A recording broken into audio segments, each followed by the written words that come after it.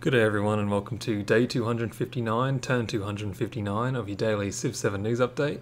I'm going to recap some of the main bits of news from the Shawnee live stream that took place this morning. Uh, right off the bat I'm going to talk about this loading screen. This is the screen you'll get when you're loading into the game as Tecumseh. And I'm going to say it, for Firaxis, I am begging you, make this the screen you see when you're interacting with the leaders. This artwork is incredible, it's immersive, and it really makes you feel like you've travelled to go and meet with this leader in their lands and you're having some kind of epic negotiation. They've mentioned it on a bunch of live streams now. They're really proud of how the leaders interact in the current iteration with both of them on the screen at the same time. That's fine. I disagree. I don't expect this to make it into the base game at this point, but I would not be surprised at all if this gets changed further down the line. Nothing wrong with admitting that it just wasn't meant to be and changing it to what I would consider to be the obviously superior choice, but at the end of the day, that's just my opinion.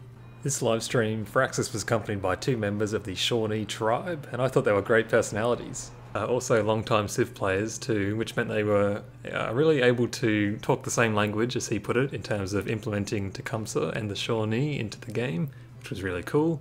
They showed some awesome concept art and talked a bit about how civs in this game will each put their own design spin on buildings. Pictured here is the Shawnee University, for example, and this concept will also be applied to units as well. So here are some Shawnee Knights. No longer the Western silver plate armor style of knight for everyone, we all get our own unique look. Now my number one question after seeing this, for both units and buildings, is how far are they going to stretch this concept? Because this seems like an absolutely enormous undertaking. If every civ essentially has their own unique version of every unit and building in the game, it's no wonder that this game spent this long in development because that is ridiculous. Uh, I don't think that's the case. I don't foresee there being a unique Shawnee spin on the stealth bomber, for example. Could be wrong, um, but I'm just wondering where the line is. So what it's worth, I for one would love to see them give Australia a unique monument and just make it the big banana. Because if that's not worthy of two culture per turn, I don't know what is.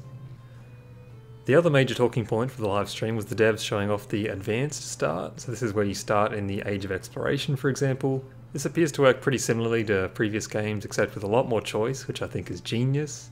Now who knows if these numbers are final, obviously, but you can see the start with your capital here, at a whopping 20 population, and for the exploration age you're given 7 legacy points to work with. So these each grant different effects. You can see it costs, costs 2 to gain a city, 1 for a town, uh, and you basically just get to kind of start your empire off how you want.